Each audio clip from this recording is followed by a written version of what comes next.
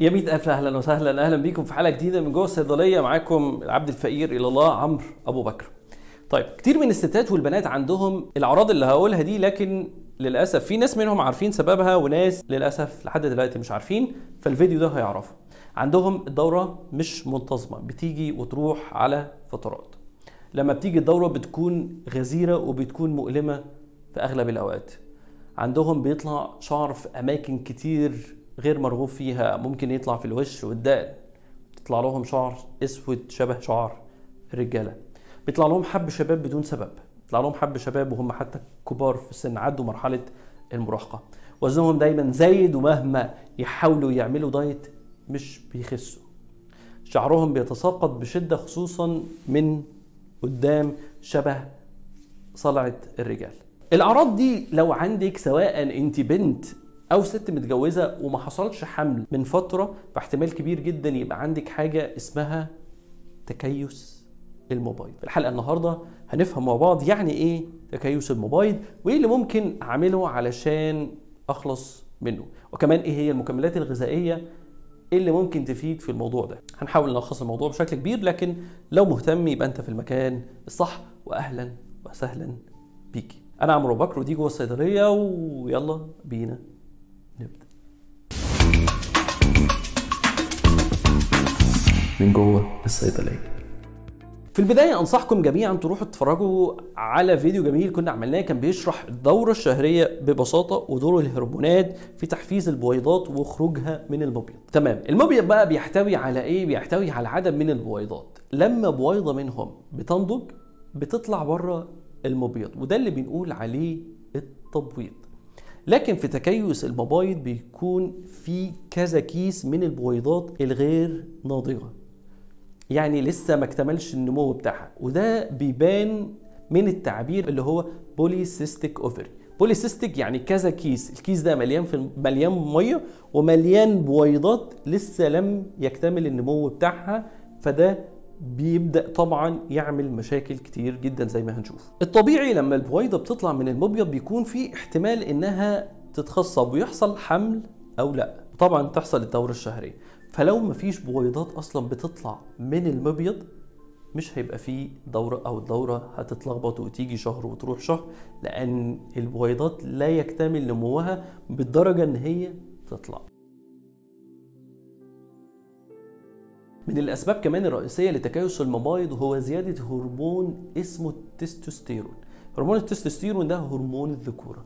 اللي بيفرز المبيض في الطبيعي بنسب قليلة جدا جدا جدا وليه دور كمان في إن هو يزود الرغبة الجنسية. لكن ال التستوستيرون ده لما بيزيد عن المسموح بيبدأ يلخبط الدورة ويبدأ يدي أعراض كتير جدا مش مرغوبة زي ظهور بقع سودة في الجسم ظهور الشعر الصلع وكمان بيعمل حاجة رخمة قوي اسمها مقاومة الأنسولين وزيادة الوزن. أنا عارف إنك عايزة تسأليني يعني إيه مقاومة الأنسولين بس أنا مجهز إجابة على السؤال ده. يعني ما تخافيش. بص يا رشا مقاومة الإنسولين هو الإنسولين أصلا هو إيه؟ الإنسولين ده هرمون بيفرزه الإنسان، بيفرزه بيفرزه منين؟ بيتفرز من البنكرياس علشان يحرق السكر اللي موجود جوه الخلايا، وبالتالي يمدنا بالطاقة ويمد الخلايا بالطاقة اللي محتاجاها عشان نؤدي وظائفنا الوظائف بتاعتها.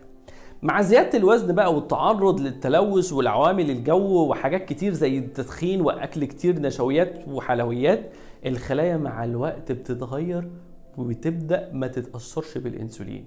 يعني بمعنى أصح بتتنح كبر له. وبالتالي لسه الجسم شايف إن في سكر كتير جدا جوه الخلايا. فيبعت يبعت المخ إشارة يا جماعة طلعوا لي إنسولين أكتر أنا عايز أحرق. فيروح يبدأ الجسم بدل ما يحرق السكر يلاقي إن في كمية سكر كبيرة جدا وأنا عايز أحرقها. فيبدأ يحصل إيه؟ يبدأ يحول السكر ده بدل ما يحرقه يحوله طاقة يبدأ يخزنه كإيه؟ يخزنه كدهون خصوصا الدهون حوالين إيه؟ حوالين الوسط. يبدأ بقى يبقى في جناب وحاجات كده غريبة.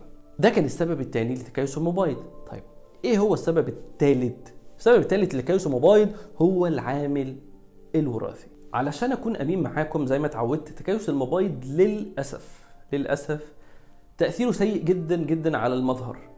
على السمنه على زيادة الوزن ظهور الشعر البقع السوداء من ناحية تانية يعني نقدر نقول إن تكيس الموبايل للأسف بيعمل بيكون سبب كبير جدا في الاكتئاب وسبب رئيسي جدا في تأخر الحمل ده غير حب الشباب ده غير تساقط الشعر زي ما إحنا قلنا من الأمام.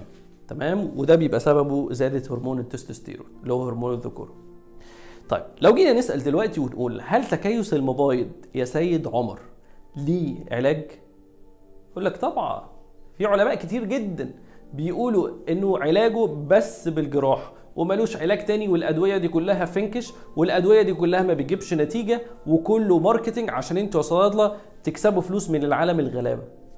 وهو ده في ناس كتير بتقول الكلام ده.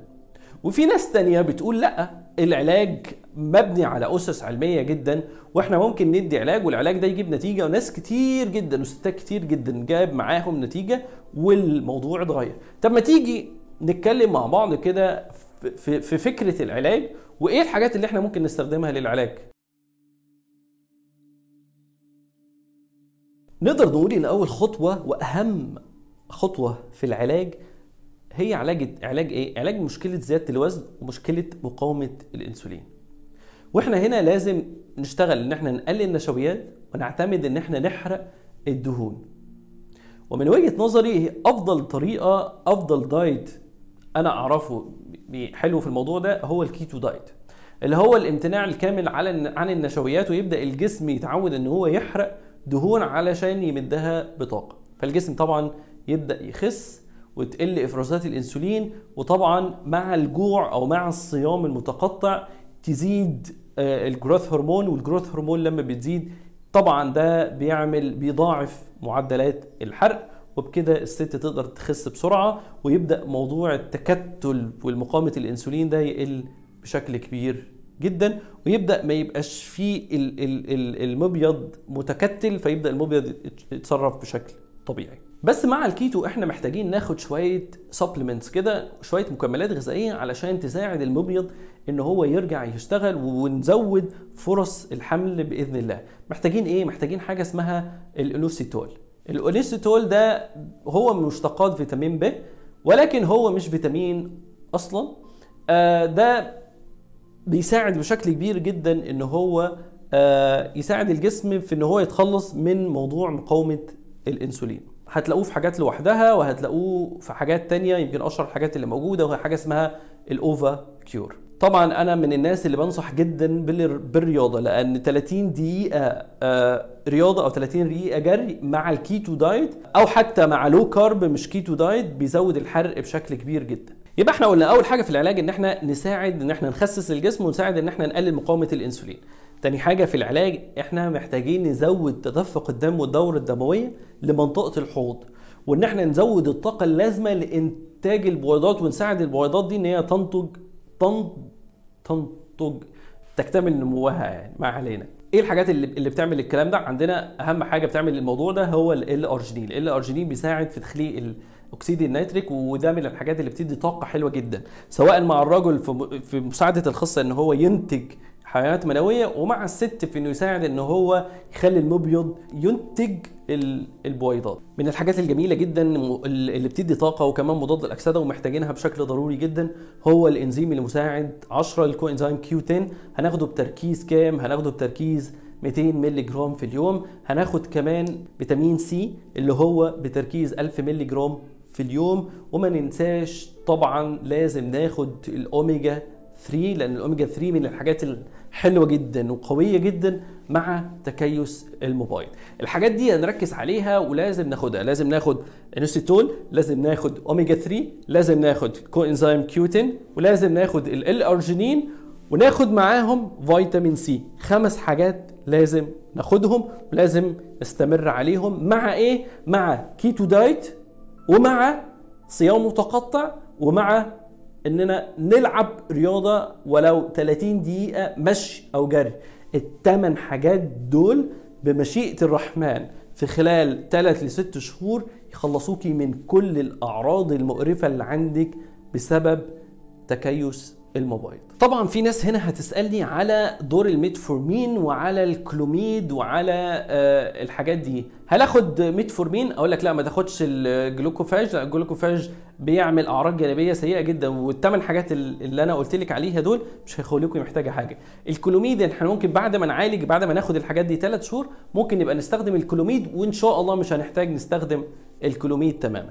لو في عندنا لخبطة في الهرمونات وعندنا زيادة في هرمون التستوستيرون هرمون الذكوره فإحنا بناخد في أنواع معينة من حبوب منع الحمل لما بناخدها بيكون معاها حاجة بتكسر هرمون التستوستيرون زي حاجة زي اللي موجودة كانت في الديان 35 ده كان بيكسر أصلا هرمون التستوستيرون وكان بي بي بيساعد على موضوع لخبطة الهرمونات. الحاجات اللي موجودة في السوق أنا واحد من الناس هتقولي لي أشتري الحاجات مع بعض ولا أشتري كل حاجة لوحدها؟ اشتري كل حاجة لوحدها لأن هي أرخص وأحسن و quality أعلى وقيمة والقيمة كمان أعلى بكتير. ولكن لو حابين إيه الحاجات مع بعض إيه الأنواع اللي موجودة في السوق؟ عندنا حاجة اسمها بروفرتيل ال female عندنا البروكسيد عندنا ال FT 500 وأنواع كتير جدا. وللأسف في كتير جدا حاجات كتير غالية جدا جدا جدا ولكن تأثيرها ملوش أي لازمة. تمام؟ فما تنخدعوش في الأرقام والأسعار والترشيحات بتاعت الناس. أنتوا اعرفوا الفكرة أنا قلت لكم على الفكرة وقلت لكم على إيه الحاجات اللي بتشتغل وبتشتغل إزاي. هاتوها من مصدر موثوق فيه. وبس كده. إن شاء الله أشوفكم على خير وقولوا لنا وجربوا العلاج أو استشيروا حد باللي إحنا بنقوله وقولوا لنا رأيكم وقولوا لنا إيه تجربتكم مع تكيس الموبايل؟ ولو كان حد كان عنده تكيس موبايل وخد علاج قبل كده يقول لنا برضو هو عمل إيه أو عملتي إيه يا ست الكل. بس كده. دمتم في نعمة دمتم في صحة دمتم في فضل من الله. أشوفكم على خير في حلقة جاية من جوه الصيدلية. كان معاكم. المفروض تبقوا عارفيني دلوقتي. عمرو بكر سلام.